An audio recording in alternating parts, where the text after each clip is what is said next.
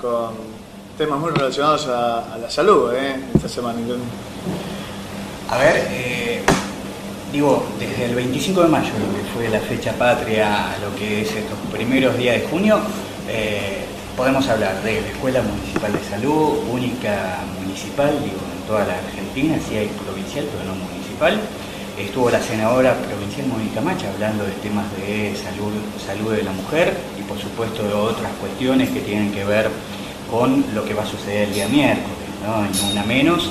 Eh, y ahí, aparte, por supuesto, ya el postre, la guardia del hospital, que ha quedado impecable, ¿no? Y una nueva cursada de, promotoras de salud. Exactamente. Que comenzaba el día miércoles, que también nos llenan de, de orgullo. Sí, digamos simplemente. También bastante pioneros en Marcos Paz con el tema de las promotoras de salud. Sí, ¿eh? sí. ¿A la cubana? Sí, ¿Hay algo de eso? No, no, el sistema de promotoras de salud, digamos, siempre el ministro Alejandro Coll en la provincia lo, lo reconocía ese trabajo territorial, que nosotros siempre lo hemos marcado como un primer piso de lo que es la atención pública, después las unidades sanitarias, el hospital, los consultorios externos y este, el cierre de esa pirámide con el hospital de la Cuenca Alta, pero eh, en todos lados puede llegar a haber, o en muchos lados puede haber promotoras, pero como la organizabilidad que tienen acá en el distrito es muy particular.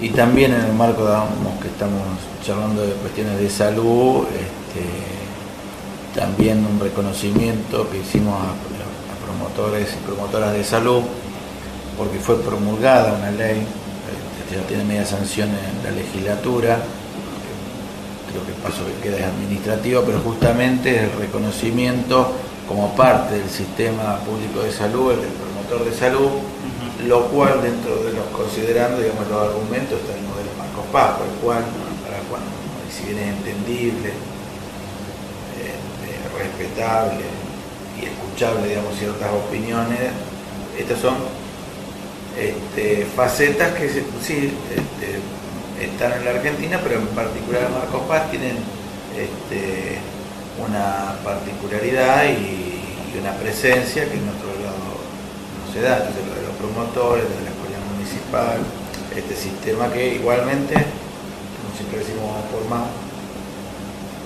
este, hacia julio estaremos inaugurando el hospital de la Cuenca con la presidenta, y los cinco municipios. Estamos en una etapa final ya de organicidad. Va a llevar muchos meses el, poner en funcionamiento ese hospital por la envergadura que tiene, pero esa primera etapa, si Dios quiere, ya estará hacia julio y a su vez en lo que es Marcos Paz, calculo que hacia mitad de mes y en consonancia y en relación con esto, vamos a estar haciendo algún nuevo y muy buen anuncio lo que es el sistema público de salud y que creo que ahí vamos a quedar este, ya no solamente una cuestión provincial, nacional, te diría hasta a nivel internacional. La campaña del doctor Ramón Carrizo, ¿tiene algo que ver con el gobierno eh, nacional, provincial? La campaña... Doctor Ramón Carrizo, la, que, se lleva a cabo en los barrios, que la lleva a cabo el Frente Transversal. La presencia electoral, nosotros articulamos también con el Ministerio de Salud de la Nación, estamos con la cuestiones y es como puede tener el movimiento Evita, tantas de las organizaciones, este, la Cámpora, o como el otro día estuvimos Movilidad de Salud de Nación, y si bien es institucional, hay un acompañamiento que a lo mejor ellos no le dan visibilidad, pero los chicos acompañan por afinidad, porque puede dar más visibilidad o menos visibilidad, nosotros ellos tratamos de ser respetuosos, este, bueno, pero fíjate que digamos, en ese sentido no veamos diferencias donde no hay, porque este, la charla de la senadora, que es una senadora que viene por el nuevo encuentro, este, o sea, es paso de Martín. ¿Pero viene por el nuevo encuentro o, bueno, bueno, viene, por, viene sí, por el sí, hospital? Viene, el organizado por la dirección de, de salud familiar comunitaria y, este, y está Sebastián, entonces quedamos entonces todo tiene que ver con todo, no, no, no, no veamos diferencias donde, de color, ¿no? Este, Si ese trabajo territorial nosotros lo, multiplicamos por 20, 30, es decir, este, que no deja de ser importante. todo, Sí, todo sí. es bienvenido. Yo recién vengo de una reunión donde estaba con 12 vecinos este, con sus problemáticas, y, eh, problemáticas inclusive con trabajo, preparamiento. Y bueno, nada, el tema es solucionarlo, como yo este, le decía, bueno, si articulás con la iglesia o articulás con el club o articulás con otra organización social o articulás ustedes con esta imagen de punta vecinal, el, el tema es poder llegar a resolver los problemas, todos uno. No, decía... El tema, sí, si me permite, Ah, es que este, hay que seguir respetando la organicidad y la cuestión para que ese recurso llegue armoniosamente. Lo que abunda no daña, tiene que ser bien administrado, no en ese sentido crítica, sino simplemente, pero digamos, la organización se da, en ese sentido no vemos diferencia donde no hay. Sebastián acompaña en el Consejo Liberante en mismo bloque, es decir, simplemente él es médico, tiene un trabajo territorial. Este, es más, lo de residencia trabaja con ellos y no hay ningún problema. digamos, no, no, nu- nunca he presentado objeciones a esas cuestiones. No siempre, como digo, tener en esa información para poder, si se baja sobre un tal sector, bajamos con otros recursos en otro sector y que le llegue a todos. Pero igualmente, más allá de todo esto que bien vos decís, que uno redondea el concepto, al estadio que vamos camino, creo que eh, vamos a pasar positivamente. No, yo quería comentar, digo, es de color simplemente, después de haber visto a Mónica Macha, la senadora provincial, esposa de Sabatella, a uno le gustaría presenciar en forma indiscreta, digo, las charlas de política, digo, que son dos excelentes cuadros, cuando algún tema importante del AFCA o algún tema, cómo serán las discusiones, ¿no? ¿Cómo serán las discusiones? Tengo ¿no? excelente A relación veces- con ambos, pero digamos, por la le pregunté por Martín.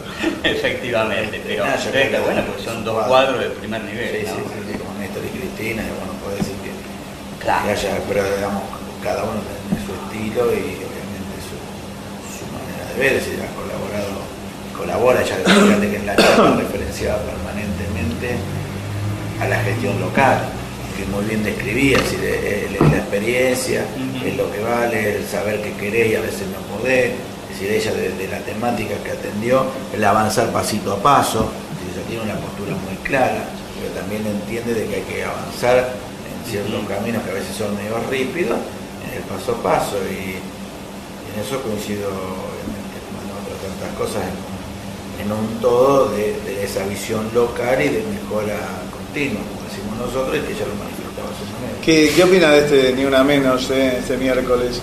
¿Va a estar presente usted acá, Marco Paso, o va a vivir en los miércoles de ¿no? recorrida, así que Sí. estaremos acompañando desde Buenos Aires, igual nos hemos sumado Sí, infinidad de fotos que nos han pedido y nosotros gustosamente estamos y, lo charlábamos el otro día. Yo creo que, que son todas acciones que hay que, que lo poquito o mucho que podamos hacer tiene que ser este, bienvenido para estas situaciones que a lo mejor parecen muy hasta extrañas que sucedan este,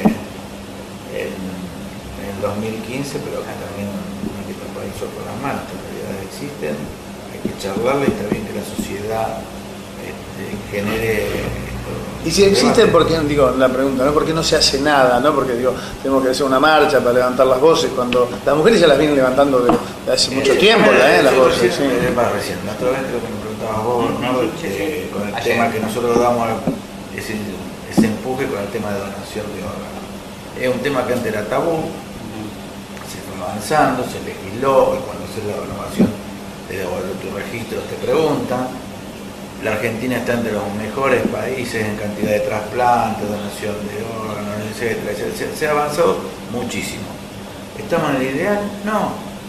Pero nadie escapa de que se ha avanzado muchísimo. Estamos este, en donde los tiempos de espera este, antes eran, no sé, de años, hoy a lo mejor son de meses o de días. No obstante, a veces tenemos la noticia en la televisión de una criatura, de tal mamá, y el, y el llamado desesperado del familiar.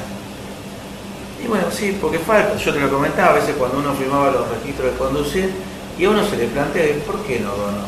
¿Qué problema? A dónde te lo va a llevar el órgano, si una vez que no está, no está. Son cuestiones culturales. Con esto yo creo que pasa lo mismo.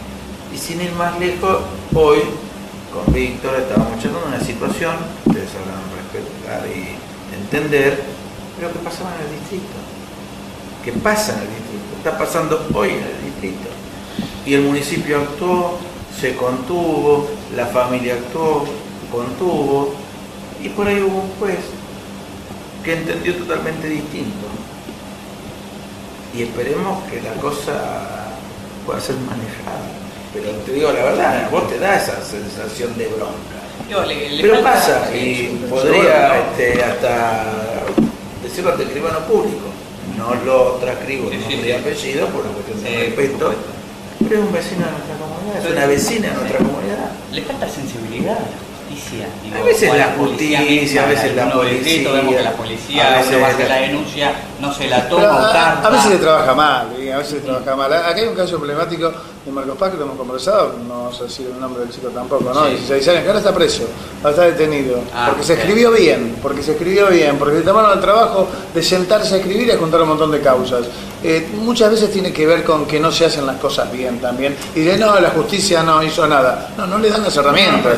Yo no, no digo la culpa de uno o del otro, es decir, yo con la justicia tenemos eh, respeto, es un poder, etcétera, tenemos buena relación, pero a veces lo ves en televisión, lo anunció Sí, sí, una verdad, fue el, cosas. el otro día por el tema de este caso de violación. Entonces, No, ese caso es terrible. este, bueno, pero bueno, Estoy seguro que desde lo jurídico tiene. Está estoy seguro, a ¿eh? está ajustado a derecho, no tengo duda de eso. ¿eh? Yo no lo sé, pero estoy seguro que sí. Pero digamos, me pasa, entonces puede ser la justicia, a veces la política, a veces la familia, a veces hay tantas situaciones que, este, que bueno, que a uno no- no- siempre te sorprende. Yo creo que la iniciativa es válida en ese sentido.